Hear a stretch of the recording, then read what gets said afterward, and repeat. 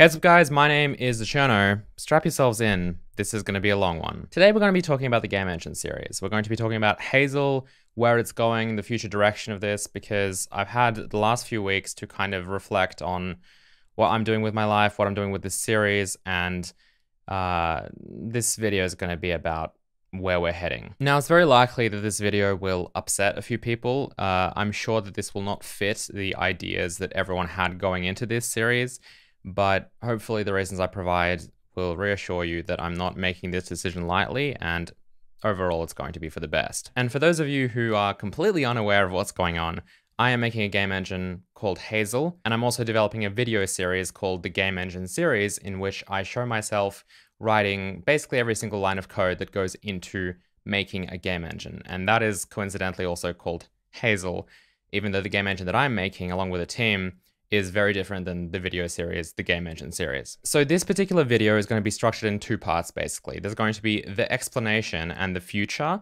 and then we're going to dive in and spend the majority of this video actually planning literally like the rest of the series and every single component from a high level that is going to go into this game engine series. And you'll see that I have nicely divided this video into chapters so that you can navigate it more easily. So to cut a long story short, basically the game engine series version of Hazel is becoming Hazel 2D. Yes, that means that we will not be adding any kind of 3D rendering, 3D physics, 3D anything really as part of this game engine series. My version of Hazel that I'm developing along with a team, that of course already is 3D and that's accessible by patrons. That will remain 3D and it will contain both 2D and 3D functionality as it currently does now, and we're going to keep working on that. If you're suddenly oh so shocked, then stick around because I'm going to explain why I'm making these decisions and what the motivation is behind them. So first of all, when I say no 3D in Hazel 2D, in this game engine series version of Hazel, I'm not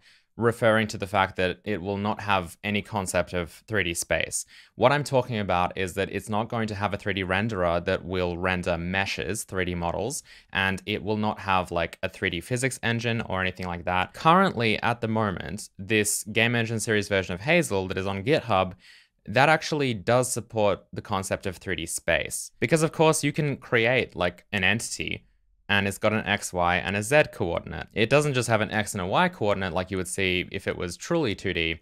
It is in fact still in 3D space.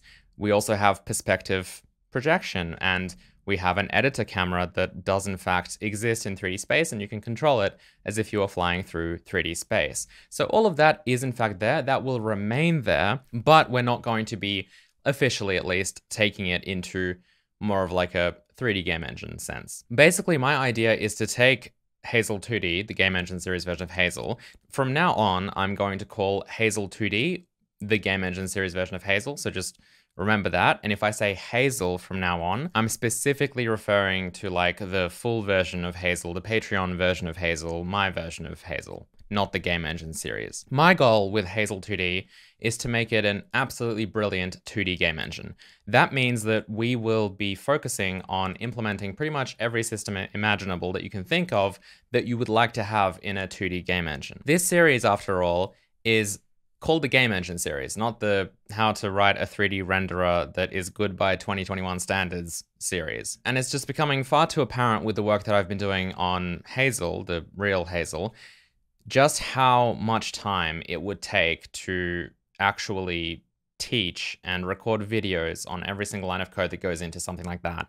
And the thing is, at the end of the day, not everyone is interested in 3D rendering. I think the Game Engine series is a bit misleading if 90% of it would be 3D rendering and then all the other systems fit in at some point then. Not to mention, it's going to keep going for literally the rest of my life, which it looks like it probably will anyway. So my point is the scope is just far too large and I would rather focus on the engine in a more holistic approach rather than focusing on this kind of massive part of it. Now that being said, and I have mentioned this before, like the scope of the 2D rendering and the 2D games that we're making, you know, I'm not I'm not picturing 80s Space Invaders or something like that. Over the last few weeks, I've been playing two games on my Nintendo Switch, Celeste and Hollow Knight. Now, these are both 2D games, so to speak. For those of you who haven't played these games, by the way, I highly recommend them. They are both excellent. Now, Celeste, on one hand, is a little bit more simple in the way that it renders everything. Hollow Knight, on the other hand, is very much a, a great example of a 2D game in 3D space because the whole thing is made up of so many different layers. There's so much parallaxing going on. The art in that game is just, it's almost overwhelming for me to look at realizing how much work has gone into that. It's also a great example of combining 2D art with engine generated things such as like particle effects, lighting, and other things. I think that Hollow Knight is absolutely a great benchmark, a great goal to work towards as to the kinds of 2D games I want to be able to create with Hazel 2D. So let's talk about why this change is happening. I mean, I think that a lot of you probably can already guess that it's a lot of work to try and complete, complete quote unquote, a 3D game engine. I mean, first of all, if you look at other engines that are currently out there in the wild, they're not completed. I mean, I would call them completed in the sense that it, it really depends how you define that. Like, what does completing a 3D game engine mean? Well, I guess to me it means it's at a state where you can ship, like actually ship a complete game with it that includes all of the things we have grown accustomed to being in a game. So like, you know, if you don't support audio but you have great graphics, I wouldn't really call that a complete game engine because usually games have sound. The other problem is that like the term 3D game engine, I mean, you could argue that what we have in Hazel 2D is a 3D game engine because it it is in 3D space. So like it really depends if you kind of picture something really simple that's in 3D space or you look at a 3D game such as I don't know, Call of Duty, or why is it so hard to come up with 3D games on the spot? Battlefield, Ratchet and Clank. Just like mm, 3D games, guys. My point being that 3D games in 2021 are pretty like complex in both the interaction with the world, but then also the actual rendering technology that goes into them. That's kind of what we're trying to do with Hazel, with the real Hazel. Like that's that's hard enough as it is, but then to convert that into a video tutorial series is both, I think, mostly unhelpful for people who are actually trying to do this because I don't think they'd be sitting through videos like that unless it's for entertainment. Um, but also, there's just just too much time has to go into that. I mean, to be blunt, there is just a lot. There's too much time to go into that time that I would rather spend actually making the game engine because, as I mentioned, that's a difficult enough task as it is. The goal of the game engine series, as I mentioned, is to make a game engine and to bring it into that kind of production quality state. What I mean by that is to get it to the point where I would happily ship a 2D game with it on Steam. A lot has to happen in order to achieve this. A lot of mostly non-rendering related work, and we're going to discuss all of that here today. So that's the first reason, just the fact that the scope is absolutely enormous. The second reason is mostly because I don't necessarily consider myself a career academic. So first and foremost, I see myself as a software engineer. I see myself as someone working on Hazel, working on a game engine. I actually want to make the game engine and I want to make games with it. And I want to ship them and distribute them and let people play them like a piece of art. I'm an engineer making art. I mean, that's the entire goal of Hazel, to create a game engine that can make games. And not just an engine that I can use to make games, but an engine that, well, everyone can use to make games if they want, which, you know, that's debatable. The actual like step-by-step -step tutorial series aspect of, of Hazel that's secondary. I started the game engine series because I wanted to teach people how to make game engines, but I also wanted to make a game engine first and foremost. Don't get me wrong, that doesn't mean that I don't consider the educational aspect of what I'm doing important or that I don't care about it. I definitely do, but first and foremost, there needs to be a game engine that I've made in order to teach how to make game engines, and that is my primary goal. The other interesting factor with that is the fact that like I mean, the amount of complexity that would go into a 3D game engine and just the level of nicheness.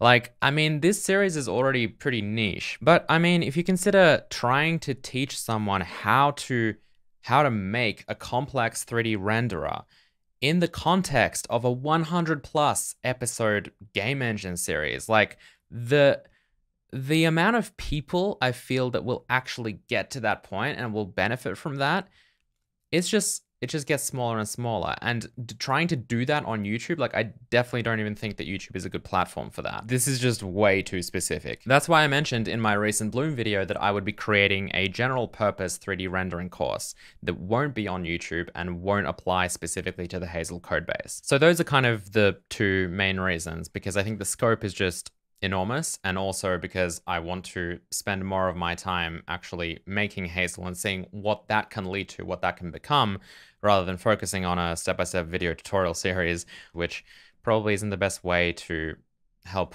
people who are at that level anyway. At the moment, the Hazel team that works on proper Hazel, the Patreon version of Hazel, there's eight of us. Now, these are mostly volunteers, although some are on payroll, but that should give you a bit of an idea as to the effort that goes into Hazel. It's definitely not just me. Patreon is what makes Hazel possible in the first place, not just Hazel, but Hazel 2D and the entire Game Engine series. And hopefully your support will contribute to converting some more of these volunteers to actually being on payroll so that we can achieve greater things. Lots of the technology from Hazel will make its way back to Hazel 2D because of course the entire engine is not all about rendering. So not everything we develop in a Hazel is effectively closed source and only accessible by patrons who help support the project.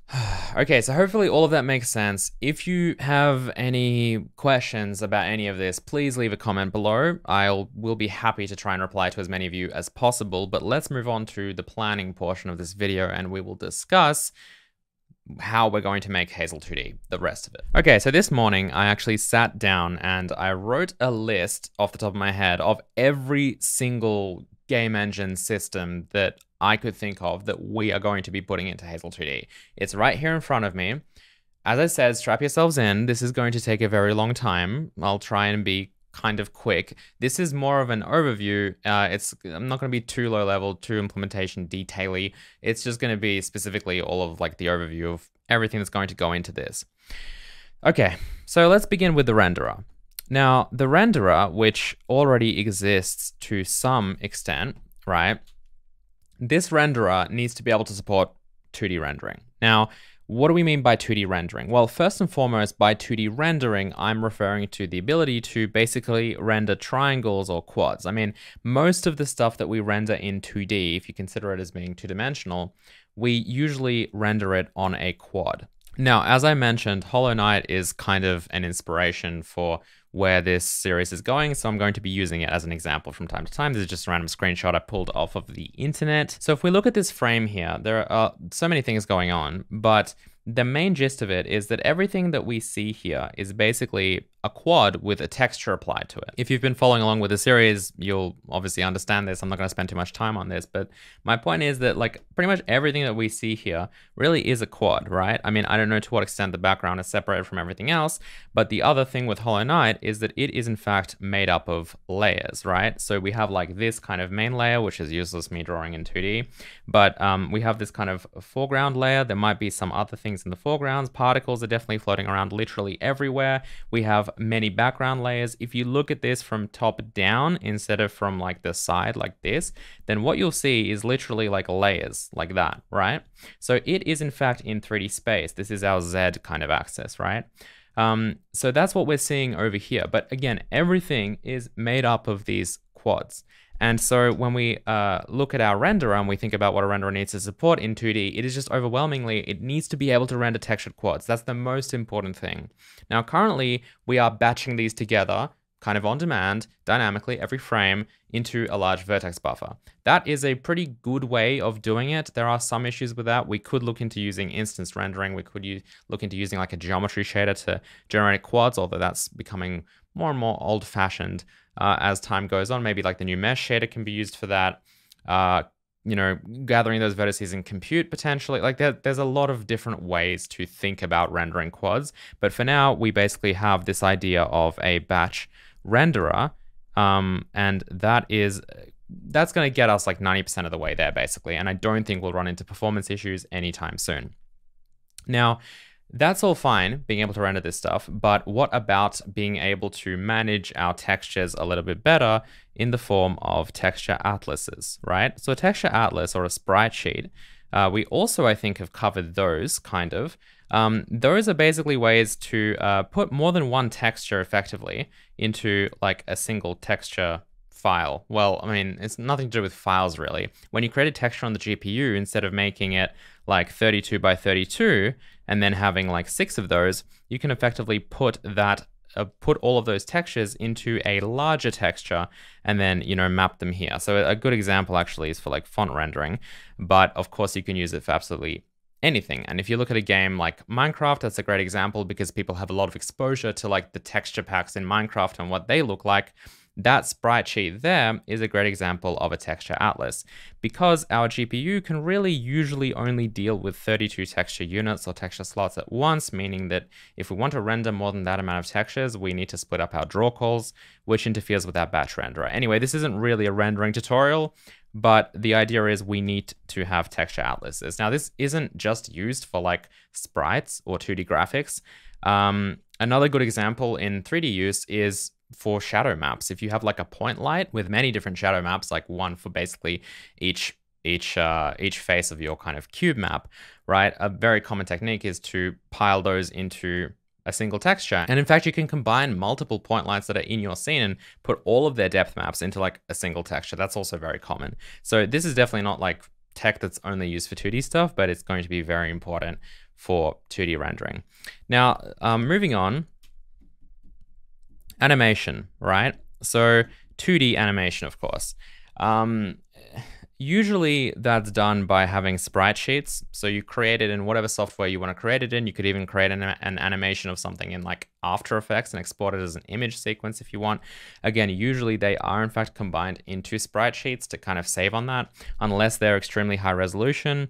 Um, it's also possible to use back at EA. I um, actually created like a sprite animation format that we used for our mobile engine, which was for uh, you know, I guess higher quality kind of animations that sprite sheets would have been annoying to use for, and that worked by delta encoding between frames. So it's a little bit similar to like video codecs, although not that complex and you basically had multiple frames of, of animation and there was various compression that happened on it but the key thing was uh, only recording the pixels that have changed basically and then having like keyframes like you would in a um, in like a video codec. So that's also an option. That's probably better if you have huge textures because that way you don't have to um, you know have you can't have sprite sheets of 4K textures, but usually you wouldn't really, if it's that big, you really need to think of something else.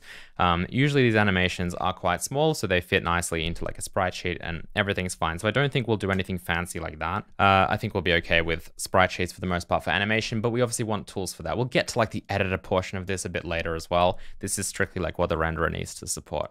So yeah, animation. Um, the other thing is uh, basically the ability to have custom shaders and materials, right? So in 3D, we're obviously used to having a material for pretty much everything, for pretty much every object in our game. But for 2D, since most things are just textures on quads, we can kind of get away with not really, um, I guess, using uh, this whole wide variety of different materials and possibly even different shaders. However, you may still want to have custom shaders for things. So, so an example off the top of my head for a 2D game would be like in Celeste, um, you can go underwater and then everything's kind of wavy, you know? And I don't, I, I don't know how they did that, but I don't think it's, you know, they made like some kind of character animation of it being all wavy, right? I don't think that's, it's probably just a shader effect. Uh, so doing stuff like that, as an example, that's something that would more or less require like a custom shader or at least some other maybe built-in engine material that would handle like a special case of rendering or something like that. Um, uh, I guess another example is even like because remember you can have layers, and so if you have layers, like I'm just I'm just uh, picturing like you know, frosted glass. If you had frosted glass and there was stuff behind it, which was obviously in the background, kind of like the depth was greater, then you'd have the parallaxing effect, which means this will move with the camera. And so therefore you might want to blur like this, this might be like an additional pass that goes on top of things that would in fact blur this area, you know? So stuff like that very kind of desirable if you get into the more advanced effects. Uh, so I definitely want to be able to support that. Now, finally, um, I hope I haven't missed anything major, but basically post-processing effects, so post effects. So what I mean by that is basically things like bloom, things like color grading, uh, color grading. Uh, there's many more things that you might want, um, but the point is, you know, those there's no reason why those have to not exist in 2D. They do exist in a lot of 2D games, and uh, I guess if you're making like a really nice polished 2D game, I mean, you could even have like auto exposure for different rooms and stuff like that, HDR rendering, all of that stuff. We do that anyway. I think we're doing HDR rendering. It doesn't really matter. It's not not a big change, but um, you know that kind of stuff is also really important if you are kind of shooting towards like a higher fidelity uh, i guess 2d game. So that's also necessary. That is pretty much where i see the renderer. And again i think we've got the first two more or less implemented. So it's really more about like you know animation and then th this stuff which custom shaders and post-processing can come later. Animation is pretty important. Um, we probably focus that sometime soon. All right that's the renderer. That's part one now, the next thing that I want to talk about is scripting, because in my opinion, this is probably uh, one of the most important things um, in, in actually making a game. Now, first and foremost, actually, with all this stuff, I just want to mention that this is in no particular order, and this is not this has nothing to do with the order that we're going to be progressing in. This is just everything that needs to be done basically, right? And I will be organizing this into like a Trello board or some kind of online medium so that you can actually look at it and you can also track the progress of this over time. Um, and I will probably even start tying it to commits and to branches and stuff as that stuff goes in. So scripting. Now, um, scripting is a way for us to basically create and define all of the behavior for what our what actually happens in our game during runtime, right? So um, there's a few different ways to do that. Um, the way that I've kind of chosen for Hazel is C Sharp, and there are a few reasons for that. So first of all, C Sharp is an extremely capable programming language. It's also very fast, right? Um, I mean, Visual Studio is written in C Sharp. Uh, Frostbite, like the Frostbite editor, FrostEd, that is written in C Sharp, and it uses the C++ engine. Uh, like C Sharp is is a very capable programming language. Obviously, Unity uses C Sharp as well for scripting, but I'm just talking about the language overall. I think it's a really good language. I've had a lot of experience with it, and I really like it. I think it's great, and this is my engine, so lol. Uh, however, there are there are other languages you could consider. Um, the thing with Lua is that like Lua is also very popular in the games industry, less so these days. In the past, it used to be more.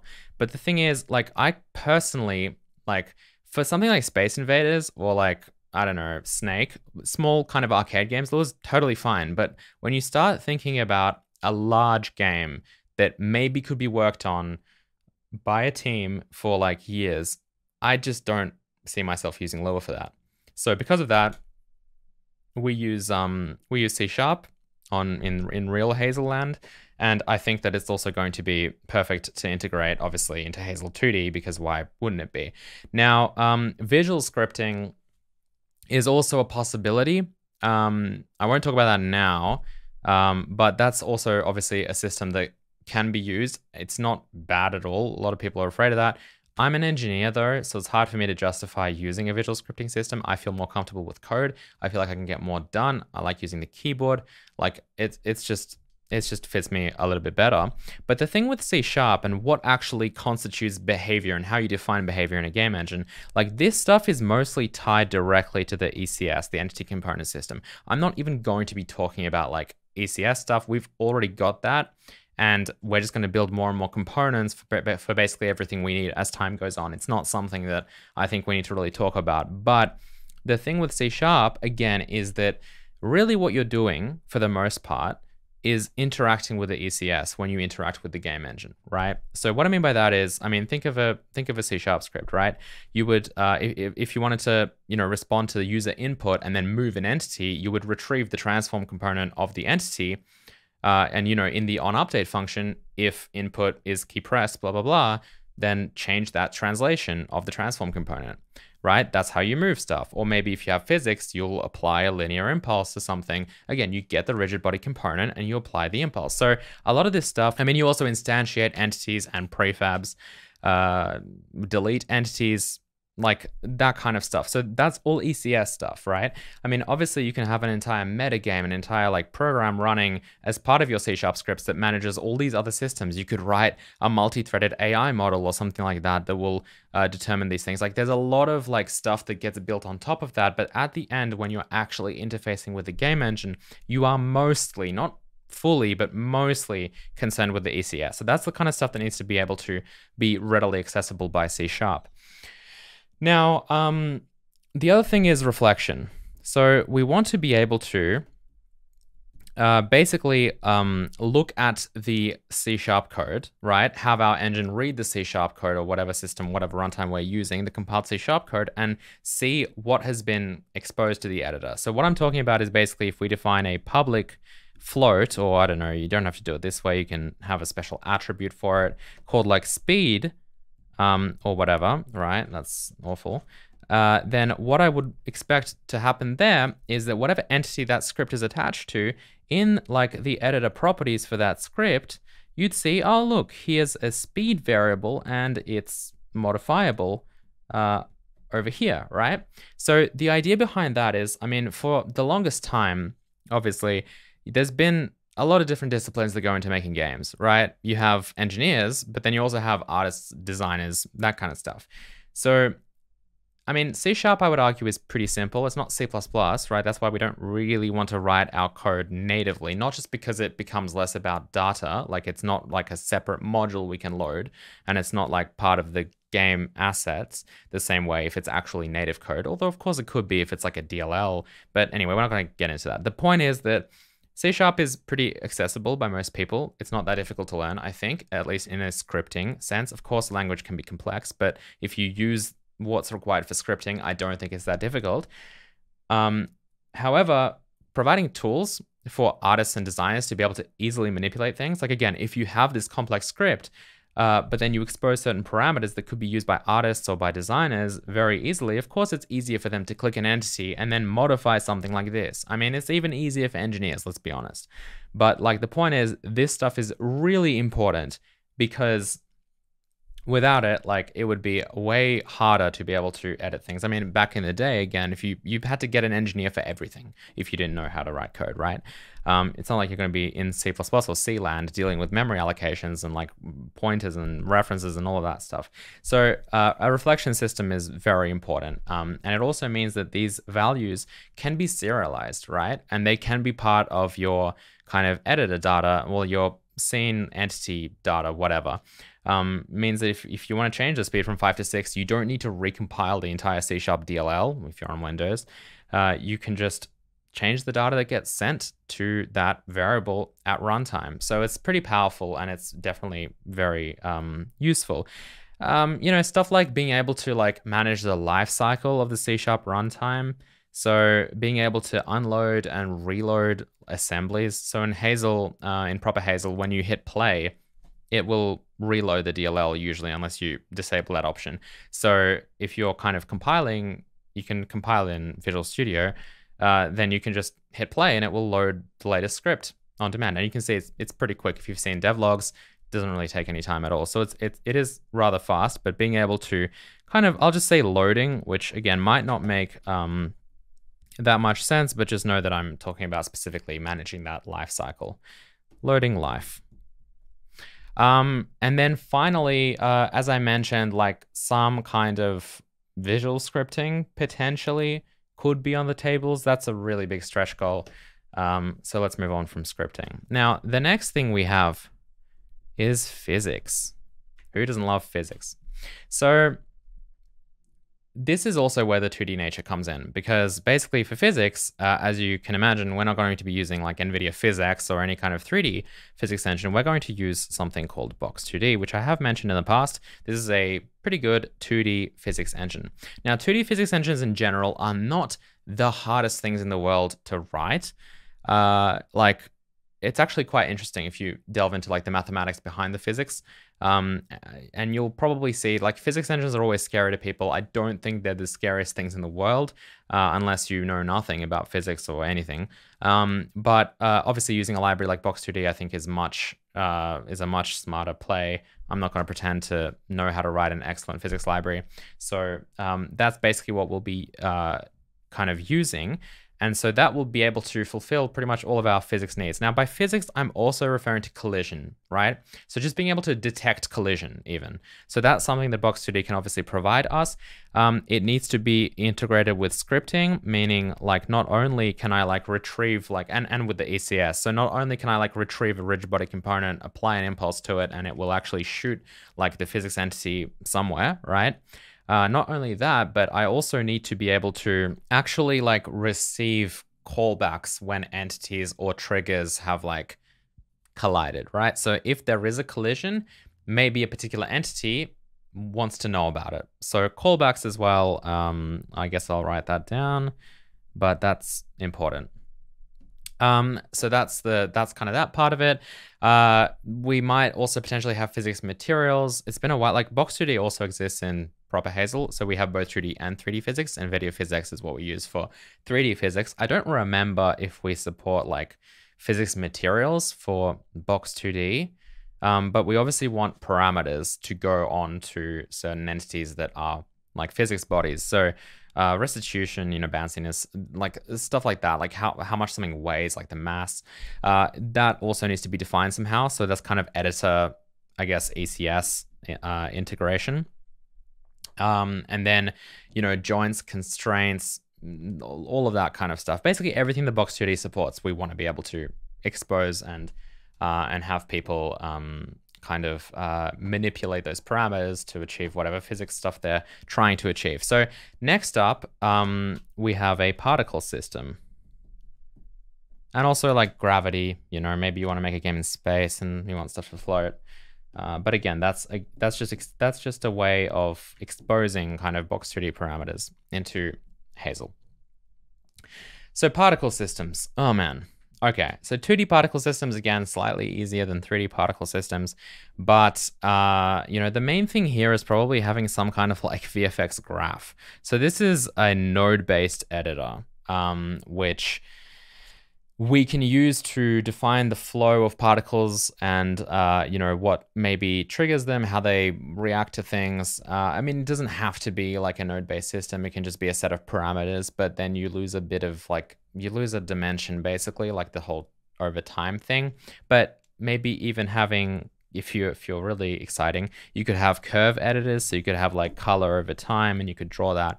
Um, you know, there's there's so much stuff to do with like there is so much stuff you could do with particles. Uh, but you know, being able to support textures, animations, all of that kind of uh, stuff that you would expect to have there. Um, animations you know you could maybe attach lights or things to them which would affect certain shaders uh, you know being able to collide with things um, so usually collision is done, uh, I guess, separately to like the physics system, uh, although it can depend. And then finally, you can move on to compute. So if you're really cool, you can um, move a lot of your particle kind of simulation uh, code onto the GPU and do it kind of asynchronously on the in like in the compute queue in compute shaders, which is usually pretty nice. But anyway, um, so a particle system, again, very important. If we go back to Hollow Knight, these things floating around here, they float. They're not static. They are all particles, right? So it can do a lot to um, kind of uh, increase the fidelity of a game, I guess. It's not necessarily something that you just need for explosions or like rocket launches or smoke. Um, just having particles floating around in your world is huge. Um, it does so much for the ambience. So yeah, super important. Now I have a little section here called editor, but the real thing is no, um, because I'm not going to talk about everything that's going to go into the editor because that's just wild. But this is more for some things that you may not have considered, such as an undo redo system. Um, the proper Hazel doesn't even have this yet, right? Um, I've had it on my to-do list for ages, but I just can't bring myself to do it because it's going to be a lot of work. But basically, the editor needs to be very much aware of every change that ever happens to it, and in this case, how to reverse it, right? Um, that's very important, and that requires a little bit more um, you know, thinking about how you write code rather than just writing the bare minimum code to achieve a desired effect, right? So um, that is something that is best done early on. We might actually consider doing this pretty soon for the game engine series, but basically, yeah, that whole undo redo thing Um, super important.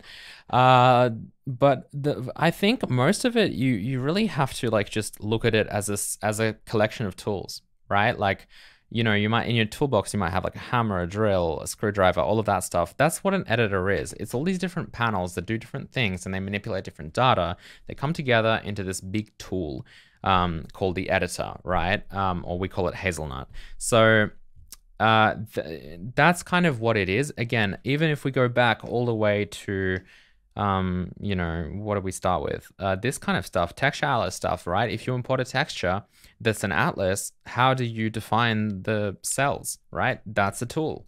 Um, so there's all these different things that that exist. Um, you know, as far as the editor goes, and it's it's hard to even start talking about all the systems. Everything that I've mentioned so far that needs a UI, well, that's gonna be that's gonna be editor stuff. Um, speaking of UI, this is a good transition. Let's go down here. User interface. Um, also something that we haven't talked about. Um, I actually had this written down a bit later, but we'll talk about it now. So the main thing with UI is text rendering, right? So you want to be able to render text. This is something we haven't touched at all. Um, text rendering is uh, can be fairly simple, can be fairly complex. You know, choose your poison.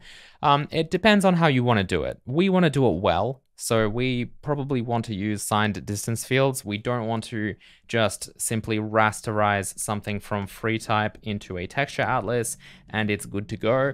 That is uh, is fine, but it's not going to get you the nice crisp text that you probably want. So we'll probably look at doing it, you know, using SDFs. There's a few good libraries online um, that can kind of generate texture atlases even for us that we can then use as part of that.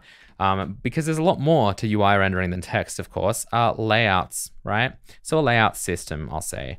This, um, I haven't really thought about how exactly I want to do this in Hazel, because there are also libraries that let you, like, for example, define layouts in CSS, and then it will do stuff to it. But like, a good example is, um, I mean, if we look at Hollow Knight, this UI up here, right? So let's but that's a good example of UI. That's something we call a HUD, heads up display. That's just overlaid on our game as we play the game.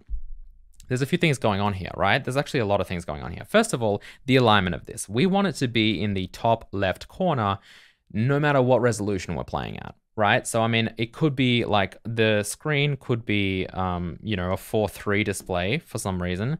It could be an 18 by 9, like ultra wide monitor, right? And we still want it to be here, right? We want stuff that we've positioned in the middle to be in the middle. That's difficult. You guys who have done CSS know how difficult it is to position something in the middle.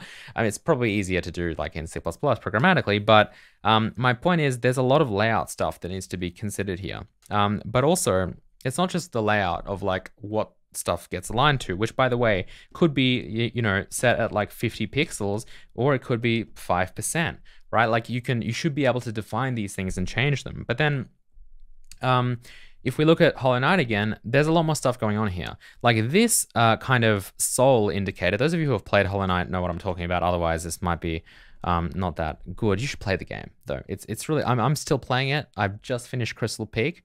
Um, it's it's brutal, but it's an excellent game, and it's just got such a good vibe to it. Anyway, so this is like the soul indicator. This kind of moves, right? So it's animated. It's it's also a this level. It also depends on how much soul you have at the moment. These are basically your lives, and these also have to change. Um, they go empty. There are blue ones that you can get right? Like it's it's very much dynamic and it changes. This is the amount of geo you have. It's like a currency. Um, that also is some text rendering that is positioned in a in a particular location, and you need to be able to obviously control that value through your metagame through C sharp. So um, Hollow made in Unity, by the way. So uh, it's a good example of how to lay things out if you're used to Unity. Um, but anyway, uh, the point is that a lot goes into this little thing, but then we're not just talking about like the HUD which is what that is, uh, there's a lot more to UI. I mean, not just HUD elements like that stuff, but we also want to obviously support menus and menu screens, all right? So like the pause menu, when the pause menu happens, it happens in the middle. I don't know, I think Hollow Knight does this. I think it it blurs everything out in the background, right? So we need to be able to have a full screen kind of blur that's usually just a UI kind of overlay that blurs whatever's behind it, right? Because UI is usually rendered last. So you know, stuff like that. Um, menu screen, yeah, being able to have a main menu that we can go to options menu with like a slider for like the audio level. You know, all of that UI has to be there. Uh, being able to transition between screens, animations, you know, UI animations, man. Oh, you know, there, there's so much stuff. Um, UI is very, very complicated. People who think that UI is easy, I would vouch that it is almost as complicated as 3D rendering. There's so much stuff that goes in it. Yeah, and, and uh, um, an inventory screen, right? So being able to have an inventory uh, where you can like, um, you know, have different items and go through that. Like, there's a lot of stuff. I don't. I don't, I don't even want to talk about. It. It's making me upset. So moving on. Um, so we touched on the editor before I went into this user interface, but also I guess the other important thing is the runtime, right? So we want to be able to, um, this, this, is an epic video. We want to be able to uh, basically hit play to play the game, right? Seems uh, simple, but this play button is like a lot of lot of stuff has to happen there, and obviously we need to be able to support it. So um, yeah, being able to basically play right? But also have a standalone player. So play in editor, but then also standalone, right? This is very important because if we can't play the game, what are we doing? Um, we need to be able to play the game as a standalone thing. Um, now, realistically, like if we do break down what happens there, usually it will just load a scene. So if you have a menu, it will load the menu scene. If you have a, if you just jump straight into the game, you load the game scene. Um, and you basically play it by starting up like the physics world and then just running the C sharp scripts. So they have on create functions, then they have on update functions. You just basically run those. Um, and that is your game, right? So it's not that difficult um, in terms of like, uh, you know, what you need to do. You just need to hit play on the physics world basically, and then hit play, um, hit, uh, call the right C sharp functions. Obviously, there's other engine systems like audio that need to also be potentially initiated um, and initialized, right? But that's kind of for the most part what we expect from a runtime. Now, this isn't about distribution. We'll get to that later, um, and about like actually shipping the game. Um, okay, little little blob here, which I might actually put here. Serialization, right? So now when I say serialization, I'm not talking about saving our level. This has nothing to do with the editor. I'm talking about runtime serialization. So what this is, is I want to be able to save my game, right? I don't want the player to lose their progress and start from scratch every time they launch my game. That's obviously very weird uh, for certain games. Um, I want to be able to have a save game, right? So that needs to be like the engine usually will provide a way to do that, and uh, possibly even by using C Sharp's reflection system.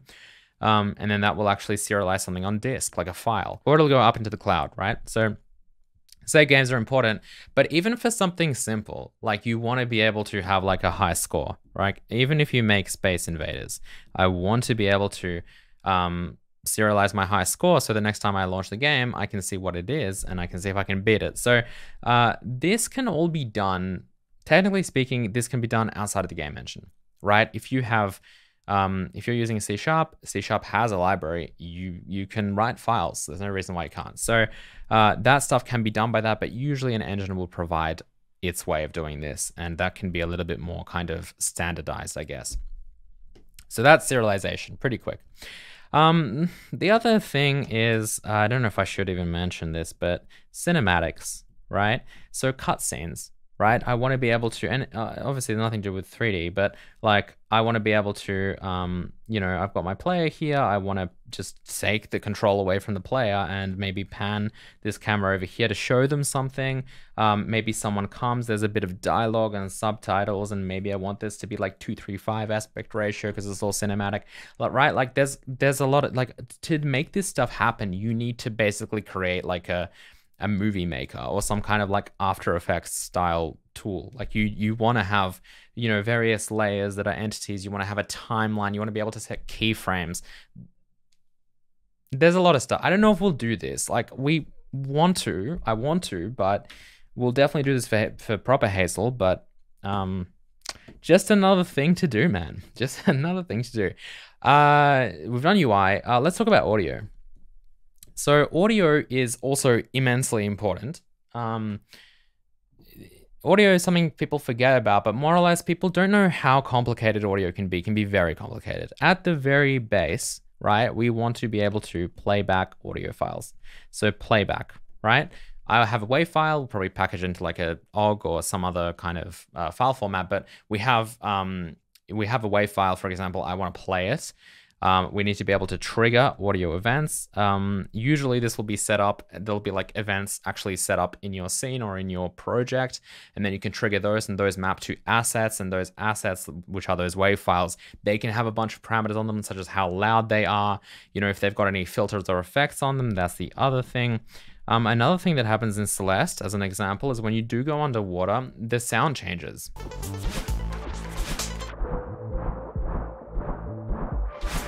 So as the music is playing and you're underwater, it just gets all kind of muffled. Like it's the high frequency just all cut out. It's like a low pass filter. Um, you know, that's something that you want to be able to do dynamically, right? But also stuff like reverb, delay, you know, maybe, I don't know about EQ and stuff, but, um, you know, you can, having those kind of effects very, I think that, I, think it's very important. I think sounds very important.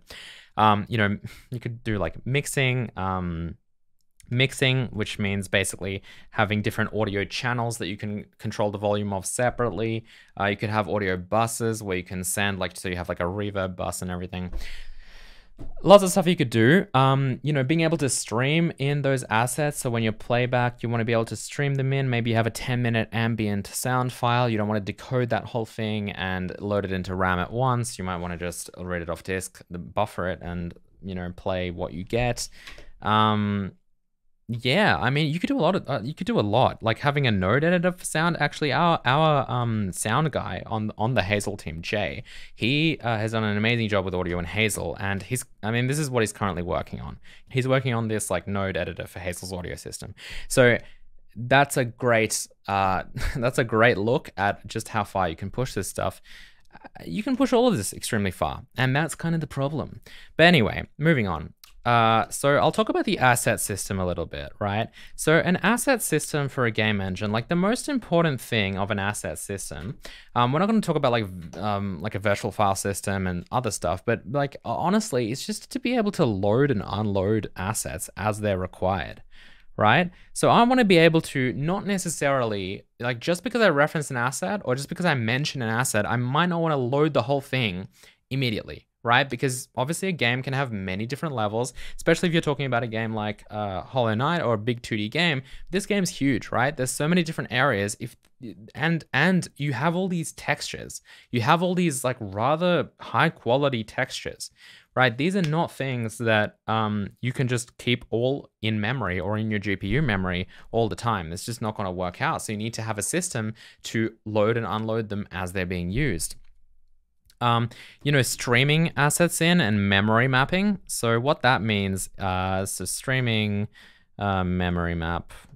So what that means is basically um, instead of like if you have a, a 500 megabyte texture that you want to get onto the GPU, hypothetically, uh, instead of loading in that whole like 500 megabyte texture to CPU RAM and then loading it to GPU, right, GPU, CPU, you can instead memory map it. So you have like a rolling window, you roll through it, you buffer it, and then that way you never use 500 megabytes of CPU RAM and you can get into the GPU faster because you don't really need it to stick around in the CPU. So memory mapping is very important as well.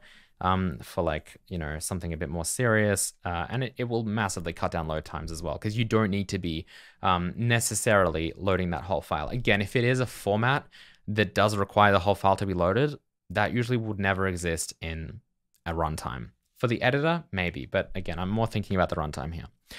Um, yeah, packaging. Uh, so like maybe creating a binary blob or blobs. Um, we'll talk about packaging a little bit later. So binary blob, but yeah, that also kind of needs to exist. Um, I, another thing that I wrote down was editor hot reloading. So this is kind of nice. It's a very nice system to have, very easy to set up. Basically, uh, what that means is that when an asset changes, the like a Windows file watcher, for example, will pick that up. It'll be aware that, hey, a file has changed on disk. And you can automatically initiate like a, a reload from that. So an example is I'm editing a PNG file in Photoshop. I hit Control S. Magically, my engine has the updated texture, right? Um, because it's got a file watcher, it's aware it's changed, and it's re reloaded the asset. You might want to be able to turn that off as well, but it's uh, it's definitely very useful to have, and iteration times just go through the roof with that.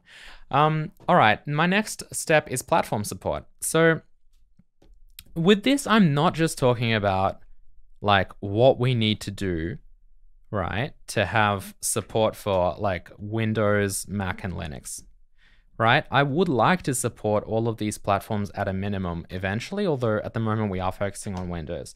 Um, that this is all true, being able to support all this stuff, but um, you also need to be able to support different versions of Windows. So different diff win. there are a lot of different versions of Windows. They have different runtimes. They have different like C++. Well, runtime is what I'm, what I'm talking about.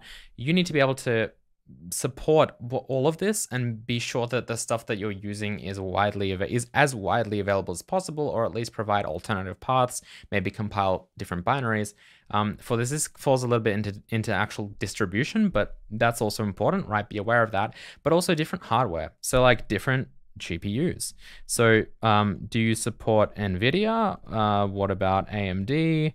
What about Intel? These have these the drivers that kind of, you know, you use here have a big impact potentially. Um, you know, Hazel for the longest time didn't like proper Hazel didn't run on AMD GPUs until I set up an AMD computer behind me with a 6800 XT where I could actually develop for that, right?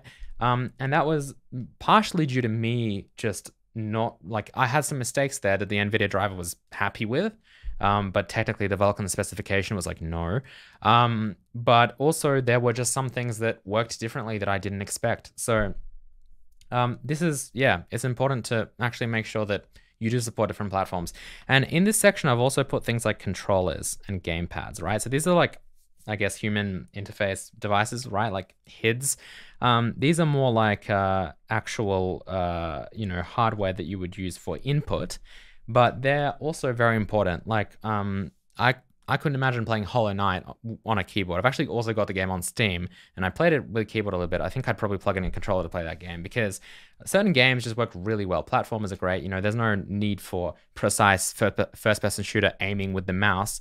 Um, controllers are great, and uh, you definitely want to support them, especially if you know you want to ship maybe on it on the Nintendo Switch, and it's not just about Windows, Mac, and Linux. So yeah, you also need to be kind of aware of that. And I've put that in here. Is anyone tired yet? I am. Um, networking. networking. So networking is an interesting thing because I don't think that we're like we're not going to support multiplayer as part of this series, as part of the game engine series. Um, Proper Hazel has some plans for that, but we're not going to support multiplayer as part of this series, probably almost overwhelmingly. It's just out of scope, right? This is just too much. But um, by networking, I, am not just referring to like real time or turn based multiplayer. I'm talking about just being able to interface with the network, right? So being able to download files, like, right? Like being able to download assets, maybe updating the game, even something as simple as having a news screen on the homepage. You open the game and then it's like, news, guess what? Update 1.4 is out. Or like, you know, just being able to communicate with the outside world. Networking, right? Very important. Um, pulling configuration files off the internet. An example is uh, back when I worked at EA, we shipped a game called Need for Speed No Limits, which was a, a, mobile game that actually used to pull its tiering settings off of servers that we had. So what that means is that basically we could reg- we, we had like a database of phones, like an iPhone 6. This was back in the day. Um, and we could set like what you know what shadow resolution should be used for that device? What you know what uh viewport scale should be used for that device? Um, you know we could set all this stuff kind of remotely and the phone when it connected could download all those configuration settings. That way we could tweak stuff after release. It's a bit different with mobile. I'm not sure what what how how difficult it is like on steam and stuff but you know especially with apple it can take a while to be able to push an update, right? And so that's why having your own updating system, your own way to download assets and configuration files is definitely very important. Um, you know, if for nothing else than control of like uh, of the content that you're actually displaying in your game, you might want to do a special like Christmas or Halloween update or something, right? Um, and you might want to do something special for that basically. So that's important. Um, you could also fit in, you know, if it was mobile, maybe ads but also like uh, analytics, telemetry. We're not going to talk about that. I don't think I want to put any of that into Hazel, at least not for the time being, but that can be useful as well. You can see how many people uh, have crashed their game and why, right? You can send that back to a server. Um, that's quite useful for diagnosing problems. So diagnostics and stuff can be can be used there as well. Um, all right, let's talk about optimization briefly. We're almost done. You guys are enjoying, like, hopefully now it makes sense maybe while I'm like, maybe let's not do 3D because, yeah, I hope this makes sense. Um, optimization. So I like doing this more towards the end because then I know what I'm doing and I'm not going to waste time optimizing stuff that then gets stripped or removed immediately, right? But uh, the biggest change to um, the biggest the biggest change and the biggest kind of thing, I guess, with optimization is multi-threading, right? So making it making the engine multi-threaded. At the moment, Hazel uh, Hazel um, game engine, Hazel 2D. I was like, Hazel game engine series. Hazel 2D entirely runs on, on a single thread, right? There is no threads for literally anything, as far as far as I'm aware. I don't think so. Um, this is uh, definitely not optimal, right? Because computers don't just have one core. Uh, computers and most devices have a lot more than one core. What this means is that we can take advantage of that and we can split our workload along different cores. And the thing is, I'm not just talking about like, you know, spinning up a thread uh, to do some work temporarily, like a job thread, right? Like maybe from C Sharp, you want to do some AI simulation and you want that to be multi-threaded. Sure, just use the C Sharp API. I'm talking about specifically the engine core itself. So a very popular model is to have a separate thread, for example, for rendering, right?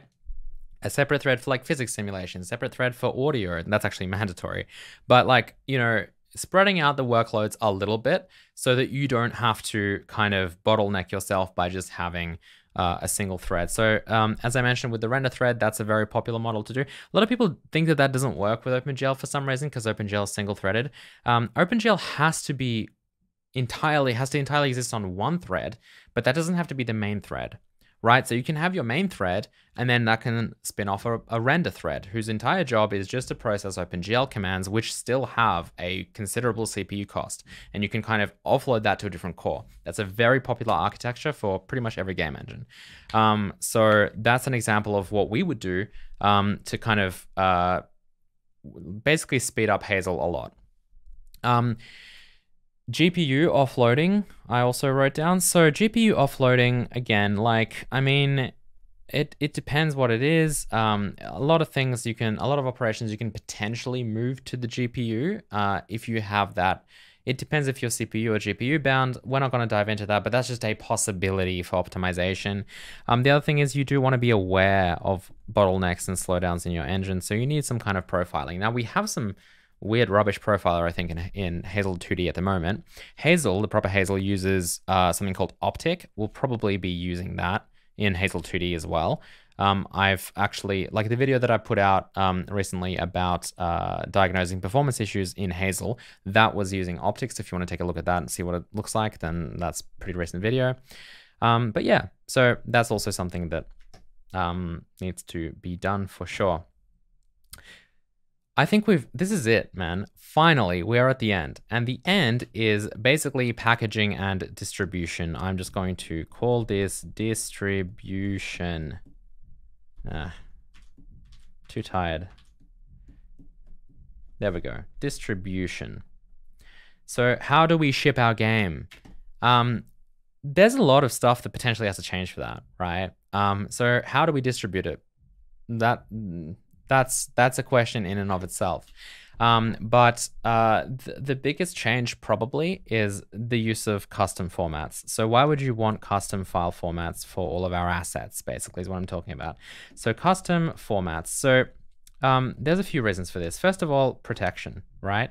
You don't want to just have all of your assets, all of your art assets, all of the intellectual property potentially that you've built just be copyable, right? You also potentially don't want it to be changeable. Like you don't want someone to open your PNG file in Photoshop, draw something on it, and then play your game. That's weird, right? So protection is is a real is, is a real thing that you might want. Um, file size, right? So certain files can be quite large and you might want to compress them. Um, so that's important as well as just speed, right? Most file formats that we use today, PNG, JPEG, that kind of stuff, um, they're not built for game engines. So they can take a little bit of time to decode. Um, also, you may have known, noticed, hopefully, that we use, um, you know, for the editor side of things, for the editor, we use uh, text-based file formats usually. So our scenes are text-based, they're in YAML.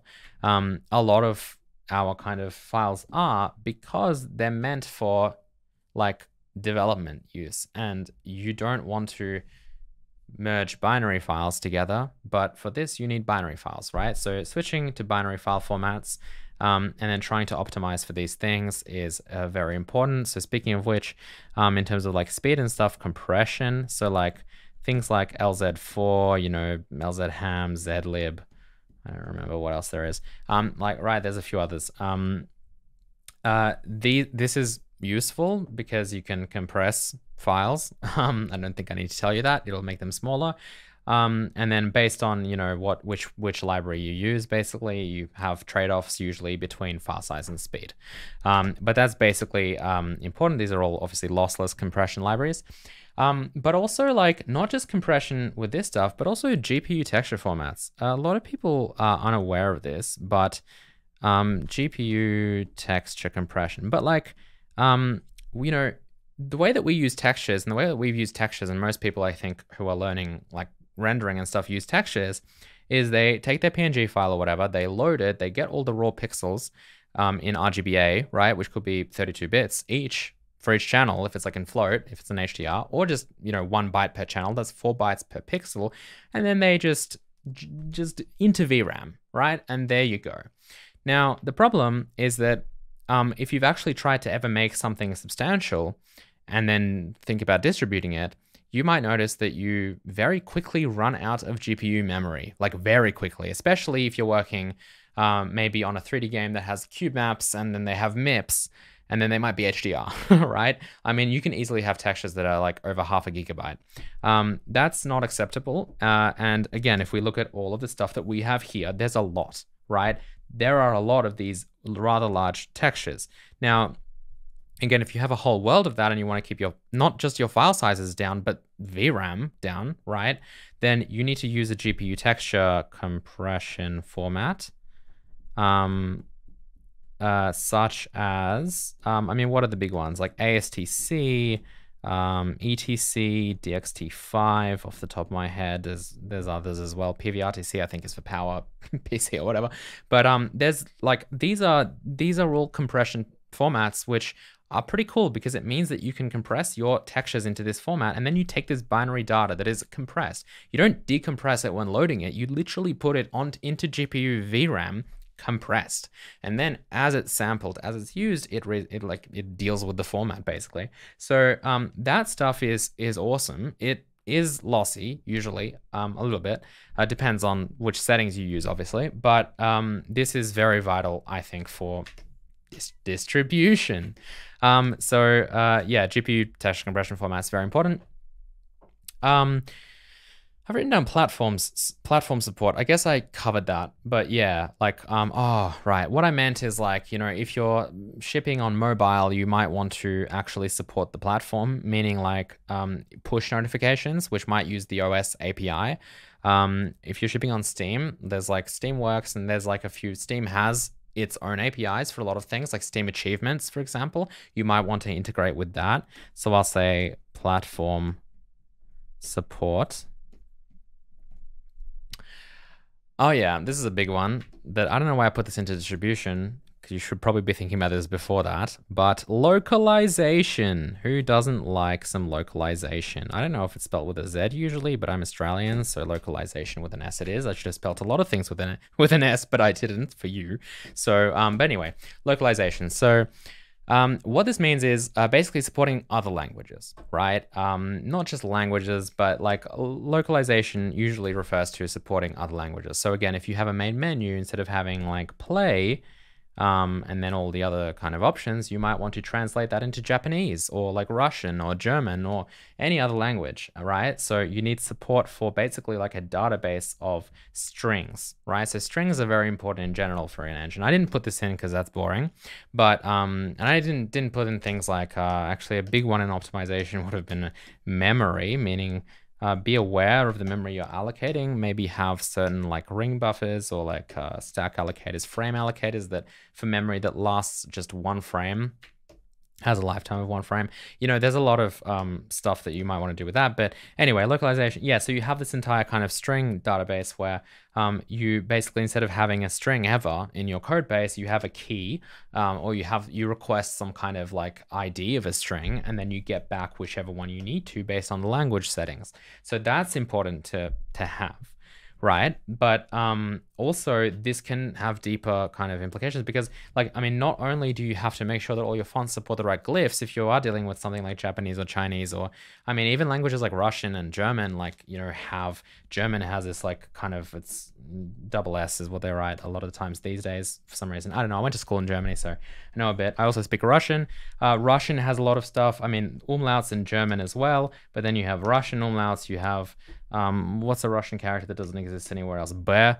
Um, like I thought of that one, but like there's a lot of different um, you know glyphs uh, that you might have to have. It's not just for like Asian languages.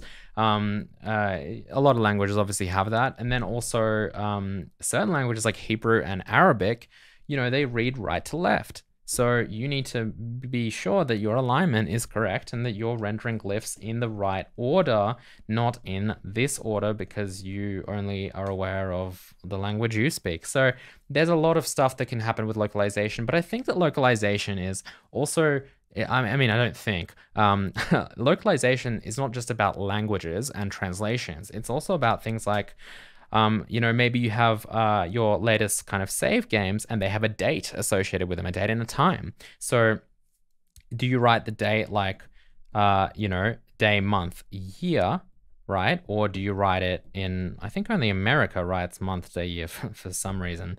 Um, but like, uh, I picked something on, I was going to pick a value that was like yeah 15 because then that way you can tell. But um you know which how do you write your date based on what region you're in? Because obviously if you've shipped your game to america and they're like 8 8 oh, it's the dumbest example possible.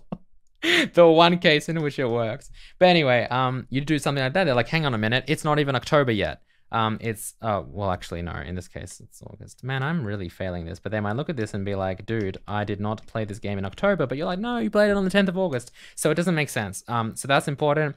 24 hour time. I don't know if people. Uh, I don't know if this is like necessarily a localization thing. Um, I just like 24 hour time in general. I usually have that on. But I remember in school in Germany. Um, you know, we usually wrote time as 24 hour time, but I'm sure that people do use PM there. It's not like the date where everyone writes the date in whatever you know region they exist exist in. Um, and then another thing off the top of my head was like currency and like uh, you know delimiters, I guess, for that. So like if you have a million dollars, right? How do you write the separating thing? And then you have like um, uh, zero cents here, right? So uh, you know we kind of in I think probably most of like well America and like Asia, I guess as well. I'm not 100 percent sure. We write commas here and then a dot here, right? But then, um, you know, European countries, if they were using like euros or whatever, um, you would write dots for these instead of commas, and then you have a comma for this kind of thing, and then you'd put like I don't know, like the euro symbol, which also, by the way, goes on the end, not at the start. So there, there's all these kinds of uh, localization things that you have to do. Um, and then finally, we have literally like stripping, uh, stripping like debug symbols. So do not ship debug symbols and other kind of things that you might want to do. Make sure you compile with actual full optimization. Maybe potentially check out a variety of different compilers to see what gives you the fastest code. Um, but like, you know, stripping uh, symbols and just in general, like production code so what this means, and production code. So what this means is um, uh, not just like um, specifically debug kind of things that should only exist in debug builds or like you know like logging. But um, well not logging doesn't just exist in debug builds but i'm not just talking about that. I'm talking about like any kind of production code that you might use. So for example maybe you have like a cheat menu that you can pop up to like progress to a level to give yourself a million gold because obviously you're testing the game. All of that should be stripped. Um, anything there shouldn't be anything to do with the editor most likely right? So the editor Editor stuff should just not exist physically in the binary. Um, it shouldn't be accessible. You shouldn't be calling things that shouldn't be called. Um, it, it, can be a little bit difficult to separate, uh, you know, your kind of production code, meaning the code you use during the game's production, and then finally um, what you actually distribute and ship to people. So that's important. Usually, uh, code doesn't end up being fully stripped, but at least make sure that you don't have debug symbols so that you can't. So that it's harder to reverse engineer everything. Um, and uh, you know stuff like debug menus um, cheat menus, uh, all of that stuff, as well as just unnecessary functions even that might be called for verification. I mean, asserts and verifies should be removed by this point anyway, but you a lot of the time that's why C++ is so nice. You can just pre-process pre-process all of that out and even not compile certain files if you're building in distribution. Anyway, how do I zoom out? Um, this is it, guys. This is uh, this is the plan. Um, I I don't think I've missed anything. What a long video. I hope I hope this is this is fine. I hope you guys made it this far. Um, but like this is as far as I can tell, this is the complete plan. Every not every single one of these things, but most of these things um, will have to make it into Hazel 2D and into this game engine series project and into proper Hazel as well. So um yeah, uh, that is the state of things. So anyway, I hope you guys enjoyed this video. I won't keep you any longer. Um, don't forget to leave a like button. don't, don't forget to hit the like button below, please. And um, patreon.com slash the Cherno. Best way to help support this. It's a lot of work. Um, it's only possible with your support. And as I mentioned, if you do want to help support the development of proper Hazel, get access to all that source code, um, then uh, your support would be greatly appreciated. It's the only reason why this is possible, right? Um, I would uh, not be doing this more or less full time uh, if it wasn't for you guys. So I'm eternally grateful for that, and I'm also I'm excited to do all of this stuff to be honest, and um, uh, hopefully you guys are as well. Please leave your thoughts as well in the comment section below. I'm really interested to hear uh, what the response is going to be like to this. I'm a little um, nervous, but to be honest, I feel better after this huge presentation because like it it it honestly like to be blunt it honestly doesn't even matter what you guys think. Like i i can't do this if i'm going to do this in 3d as well. And if somehow magically this series is somehow still going on when all of this is done and we've actually shipped stuff and it's stable then maybe we can look at 3d because i'll run out of things to do with my life which seems unlikely. But I hope that you understand at the moment, especially for a game engine series, not a 3D graphics programming series. Um, this is where I'm at. This is what I need to do. This is the decision I need to make for myself. And um, and I hope you guys are okay with that. Thank you all for watching. Love you all, and I'll see you next time. Goodbye.